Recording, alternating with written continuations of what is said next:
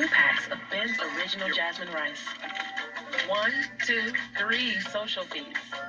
Three real life BFFs.